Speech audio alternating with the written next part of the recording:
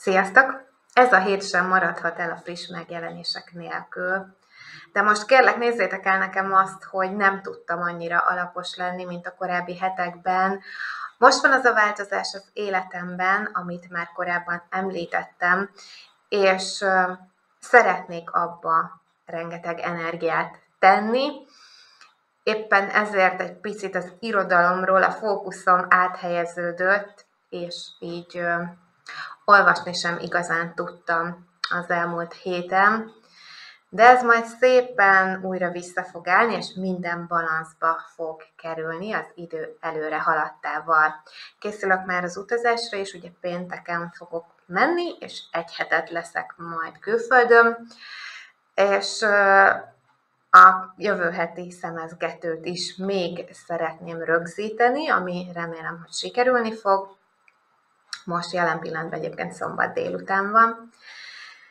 Szóval kicsit feszített a tempó, sok minden történik, de majd ez úgyis november környékére megint le fog csendesedni. No de akkor vágjunk is bele. Október 10-én kedden jelent meg az Európa könyvkiadónál Kovács Krisztián második regénye, Minden csendes és nyugtalan címmel, és micsoda paradoxon, ellentétpár van ebben a címben, és hát ez a borító is nagyon, de nagyon érdekes, ugye egy tigris látható, illetve egy könyvesbolt, ami lángokban áll. Hát bizony ennek a két motivumnak van jelentősége, ahogy így a fülszövegből is ezt leszűrtem. De még mielőtt az új könyvére rátérnék, meg kell említenem az előző könyvét a szerzőnek. 2022-ben debütált ugyanis Kovács Krisztián íróként, és jelent meg a Hiányzó történetek című kötete, amely az én érdeklődésemet már a megjelenésekor felkeltette, és amelyről azóta nagyon, de nagyon jókat olvastam, jelen pillanatban 91%-on áll a molyom. Három számomra nagyon érdekes műfajból tevődik össze ez a könyv, ugyanis egy pszichológiai krimi, egy családtörténet és egy történelmi kalandregény is egyben. A nagypapa, apa és a fiú története bontakozik ki, tehát a múlt a jelennel kapcsolódik. Az unoka egy napon, egy újságcikkben megtud a nagypapájáról egy titkot, és hát azonnal elkezd nyomozni, hogy mi is történhetett a nagypapa múltjában. És hát nyilvánvalóan olyan dolgokra bukkan, amire ő maga sem számított. Ez számomra azért is érdekes, mert én annak idején nagyon szerettem a nagyszüleimet meséltetni, nekem kellett is leadnom egy 100x70-es családfát annak idején, amikor szociológiát tanultam, és, és amikor én meséltettem őket, akkor a mi családi szekrényünkből is kiestek csontvázak, és megtudtam olyan dolgokat, amik eléggé érzékenyen érintették őket, és bizony ez a mai napig egyébként nem lett úgy kibeszélve, nagyon, nagyon mélyen őrizték ezt a titkot, és, és ez emiatt is számomra egy érdekes dolog, mert biztos, hogy minden család életében vannak ilyenek, mert hát azért egy a Magyarország történelme alapvetően is hordoz titkokat, és rengeteg mindent átéltek a nagyszüleink, és hát erről maga Kovács Krisztián a szerző is beszélt egy interjúban. Még mielőtt rátérnék a friss könyvre, szeretném is megosztani ezeket a gondolatokat a hiányzó történetek kapcsán, mert rettentően tudtam azonosulni Krisztián szavaival, és még jobban felkeltette az érdeklődésemet a könyv iránt. A transgenerációs trauma nagyon divatos téma, de engem nem pszichológiai vagy spirituális szempontból érdekel. Szerintem egyszerűen arról van szó, hogy az én nagyszüleim megélték a horti rendszer egy részét, a második világháborút, a rákosi rendszert, az 56-os forradalmat, a kádárkorszakot és a rendszerváltást is. És az ideológiák, amik az adott korokban működtették az országot, letörölhetetlen nyomot hagytak a légkörön, amiben a szüleimet nevelték. Ez meghatározta azt, amit a szüleim adtak és adhattak nekem. Abban nem szeretek hinni, hogy van valamiféle gényeinkben kódolt sors, mert az azt jelenteni számomra, hogy nincs, vagy alig van választás. Abban viszont hiszek, hogy tele vagyunk olyan elhallgatott történetekkel, amelyeknek a feltárása és elbeszélése segíthetne, hogy megértsük a múltat, és ezáltal magunkat is. Mélyen egyetértek ezzel. Én rettentően kíváncsi vagyok, hogy vajon az új könyvében ezek a témák újra előjönnek-e. Na de nézzük, miről is szól. A Minden csendes és nyugtalanban kettő fő történeti szállat kapunk. 1993-ban a budapesti állatkertben egy éjszaka éppen a tigriseket etetik, amikor is az egyik hím tigris megtámadja és megöli a személyzeti igazgatót. Gende Zalán gyorsan eliszkol a helyszínről, és hát meggyőződése, hogy ő okozta a tragédiát. Ez az egyik fő történeti szálunk, és Zalán az egyik főszereplőnk. Aztán ugrunk az időbe, egészen pontosan 2017-re, és a Boráros térre, amikor is tűzmartaléka válik egy könyvesbolt, és a romok között pedig egy elszenesedett holtest fekszik. Novák Hunor éppen hogy csak el tudott menekülni a helyszínről, ő is majdnem a tűz áldozatává vált, viszont Szentő hiszi azt, hogy ő okozta a tűzesetet. Az derül ki a főszövegből, hogy a két férfi nem találkozott soha egymással, mégis hatással vannak a másiknak az életére. De most ez nagyon rejtélyesen hangzik, és nagyon izgalmas is számomra, főleg annak fényében, hogy ez a történet mozaikszerűen fog majd összeállni, és 40 évtizedet ölel fel. És én nagyon szeretem az olyan könyveket, amikben folyamatosan adagolva van a feszültség, és titkokat fed fel az író, azért ehhez tényleg nagyon okos szerzőnek kell lenni, hogy a végére összeálljon valami olyan, ami még mondani valót és elgondolkodtatni valót is hagy maga mögött. Mert pedig én arra gondolok itt az Európa könyvkiadós főszövegből ítélve, hogy bizony itt vannak olyan dolgok, amiken majd elgondolkodtat, elgondolkodhatunk az elolvasása után. Például az, hogy, hogy az emberi életekben vannak olyan egymáshoz láncoló apró összefüggések és törvényszerűségek, amelyek a múltban rejtőznek, és amelyeket feltár majd a szerző. És közben arra is keresi a választ, hogy minden döntésünk sajátunk-e. Hogyan tudunk szembenézni a múlt hibáival, és hogyan vehetjük saját kezünkbe sorsunk irányítását. Számomra ez egy nagyon izgalmas történet, és, és én érzek egyfajta spiritualitást ebben a könyvben, bár a hiányzó történetek kapcsán Krisztián elmondta, hogy a transgenerációs traumákat nem olyan szempontból vizsgálta meg, nem pszichológiai, illetve spirituális szempontból. Most viszont az, hogy a saját döntéseink nem csak rajtunk múlnak, illetve más emberek sorsa is befolyásolhatja a múltunkat, abban már lehetséges, hogy van némi spiritualitás, de ez majd akkor fog kiderülni számomra, hogyha elolvastam a könyvet. Október 12-én jelenik meg Tiszakat a legújabb könyve a Scholar kiadónál, Szakál Péter illúziói, emberfüggések és szabadulások címmel. Ennek a kötetnek a megszületését, illetve az utóéletét végigkövettem, ugyanis Tiszakat a Facebook oldalát már nagyon régen bejelöltem. Én imádok az ő lelki mélységeibe elmerülni, és tudok is belőle nagyon sokszor táplálkozni. 2018-ban ismertem meg őt, az Akik nem sírnak rendesen, illetve a legjobb hely a városban te vagy című köteteivel, és utána jött a számomra igazán meghatározó és legmaradandóbb könyvélményem vele kapcsolatosan, és ha jól tudom, akkor ő is ezt tartja az egyik legjobb írásának, ez pedig a Most. Ez egy viszonylag hosszú, 500 oldal körül, körüli regény, de azt tudom mondani, hogy nagyon sok kapcsolatomat le tudtam tisztázni ezzel a könyvvel. Múltba visszamenőleg is, és egyfajta gyógyulás szempontjából is, és a jövőmre pedig iszonyatosan ö, nagy hatással van, ugyanis már teljesen más szemmel tudok nézni bizonyos dolgokat, így, hogy Kata megírta ezt a könyvet, és szerintem nagyon sok abúzív kapcsolatban élő embernek is segített ezzel, ugyanis itt a bántalmazó kapcsolatokra tért ki Kata, és fogalmazta meg rettentően érthető nyelven azt, hogy mit jelent egy ilyen kapcsolatban létezni. Úgyhogy ő számomra azóta egy nagyon-nagyon fontos szerző, és hát már megjelentetett egy eszékötetet az öregedésről,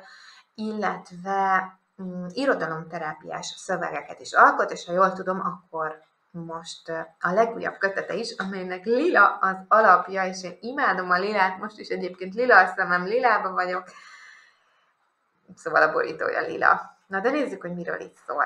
Közben egy picit rámesteredett, úgyhogy ide hoztam egy lámpát, de ezzel sem túl jók a fények.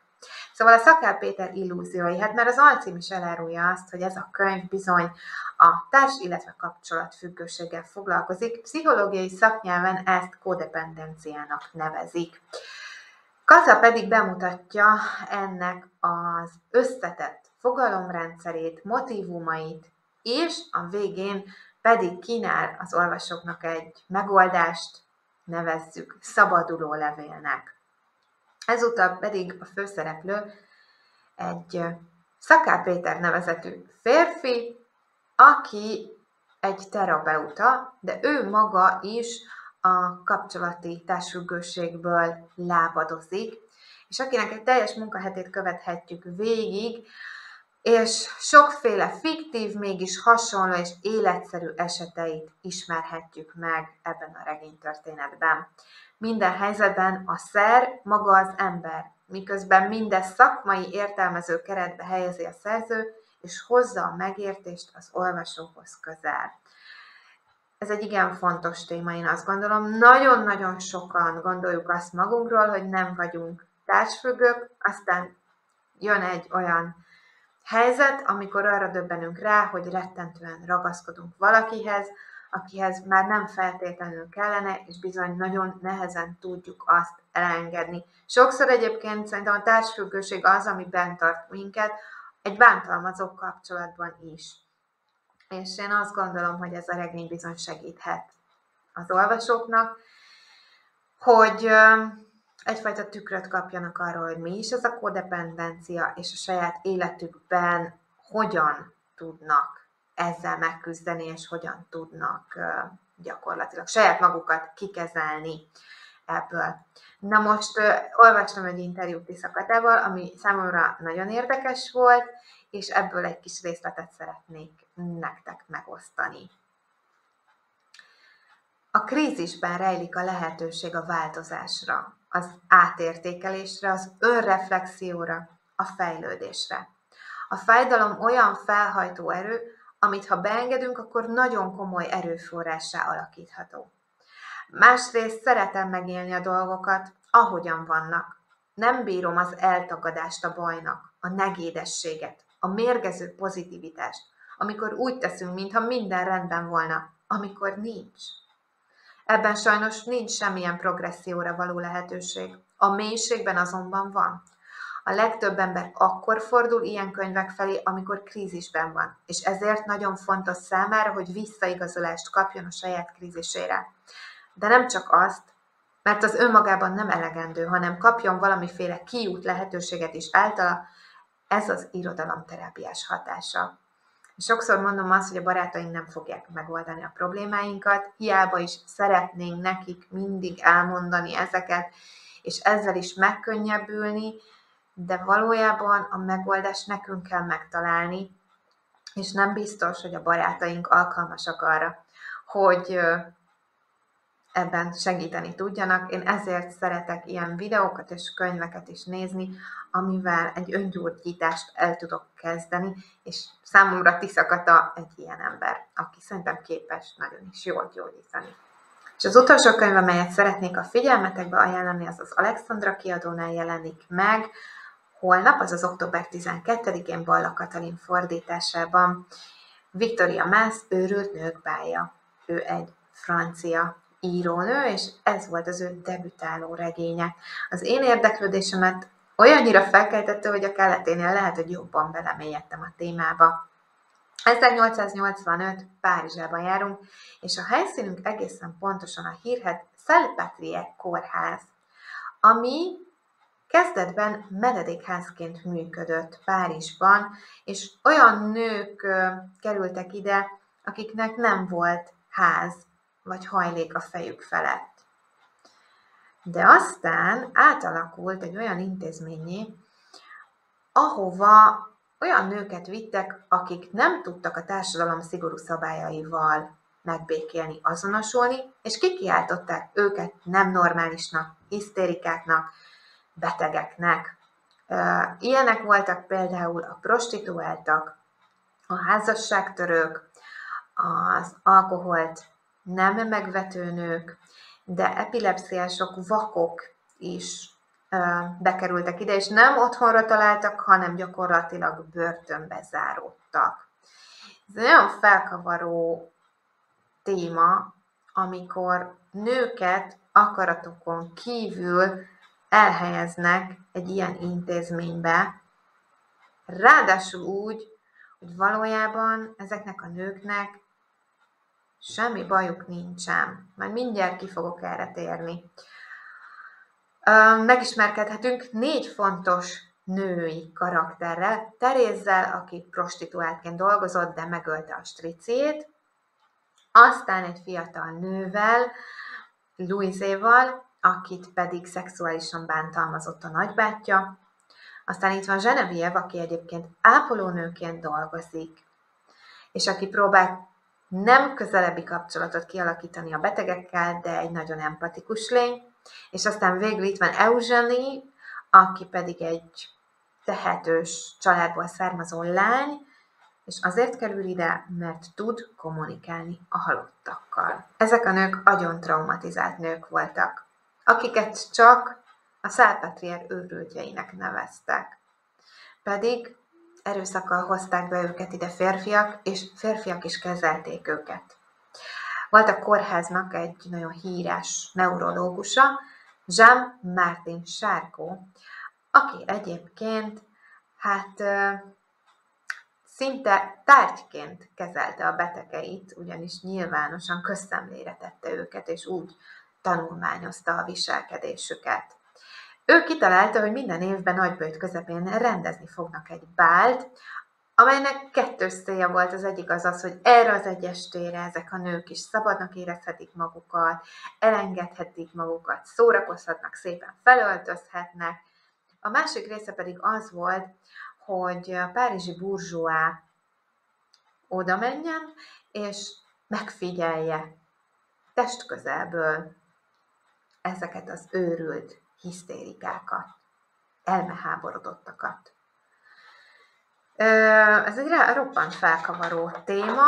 Én, ahogy így ennek utána néztem, hogy ez tényleg valóban megtörtént, teljesen mm, felidegesítettem magamat. Igen, akkor még a pszichiátriának, illetve ennek a tudománynak a kezdetén voltunk, és nagyon nem voltak tisztában azzal, hogy egy, egy trauma mit tud okozni egy emberben, de, de akkor is számomra ez teljesen megdöbbentő.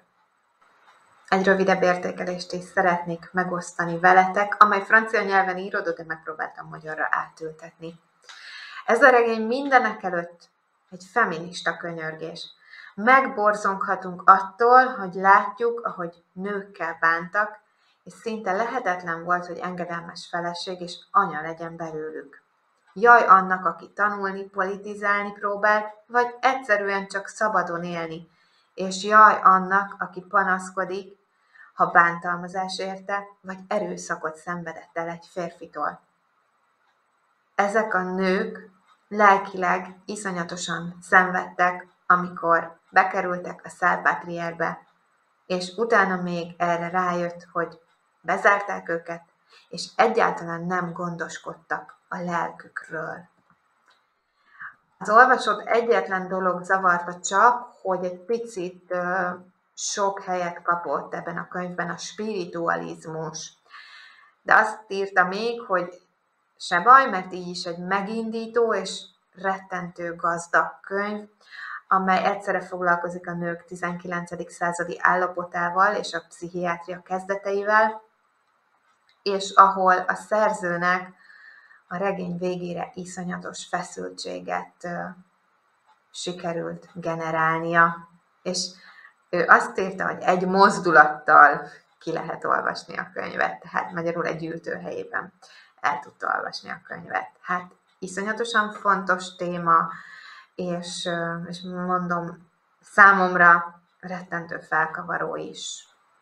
A kedvenc borítómon nem okozok meglepetést, ezen a héten is pillangok vannak.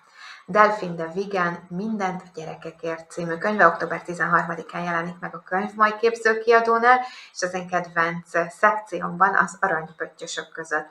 És hát ez a történet bizony rettentően felkeltette az érdeklődésemet, mert nagyon, de nagyon aktuális. Kapunk két nőt, barátnők, az egyikük nem szereti a közösségi médiát, a másik viszont szerette általa meggazdagodni és híressé válni, ezért indít egy YouTube csatornát. Igen ám, de hát nem olyan célokra használja, ami olyan túlságosan értékes lenne, hanem a saját gyermekeit mutatja meg, és enged bepillantást a magánéletébe. Igaz, hogy óriási nagy sikert arat vele, de óriási nagy hibát is vét, hiszen elrabolják a gyermekét. Azt hiszem, ennél nagyobb büntetés egy embert nem nagyon érhet. Hiába is vágyott a hírnévre, azért uh, ilyen árat szerintem senki nem szeretne fizetni.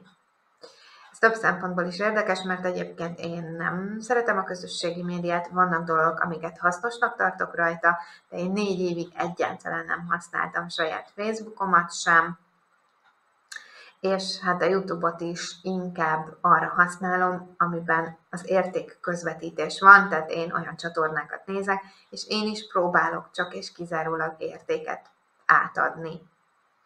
De ez a könyv, ez, ez nagyon aktuális, és biztos, hogy rettentően elgondolkodtató is. De ez a borító számomra csodálatos. Ezeket a könyveket választottam ki, és bármilyen gondolatotok is van a könyvekkel kapcsolatosan, azt bátran osszátok meg velem. Most nem tettem fel kérdéseket, úgyhogy semmilyen kötöttség nincs benne.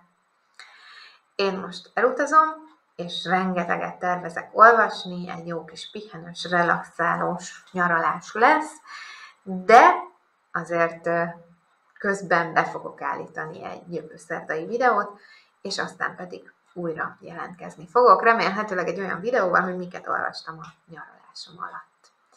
Vigyázzatok magatokra, legyetek jó, sziasztok!